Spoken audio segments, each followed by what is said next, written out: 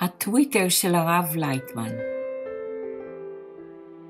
יתרון האור מן החושך הבורא שולח לנו הפרעות בכדי שנראה במה אנו מועדים.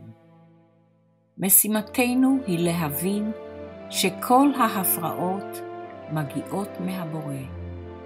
לא להתמקד בבעיות עצמן, אלא לשייכן לבורא ולנסות להתעלות מעליהן. אני מחפש את הבורא דרך מרכז הקבוצה. אם אני רוצה להתחיל לעבוד עם הבורא, להשפיע לו, אין זה מספיק להגיד אין עוד מלבדו. צריכים להתקשר עמו דרך מרכז העשירייה.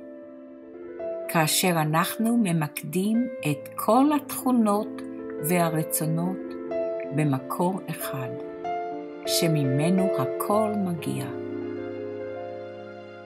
עליי להכניע את עצמי בפני תשע החברים, ולהעלות אותם עד לגובה הבורא, כאשר בכל רגע אני מכניע בפניהם את האגו שלי. הבורא יעבוד בכיוון ההפוך, כשהוא יראה לי את החברים שפלים ומלאי חסרונות יותר ויותר. כאן מתחילה העבודה.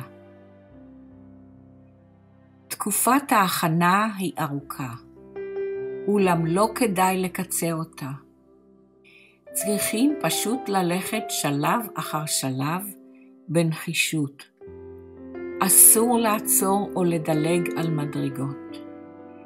אנו נמצאים בידי הבורא, ואם הוא גילה לנו את תחילת הדרך, לא צריכים לשנות דבר, אלא להמשיך באותו הכיוון.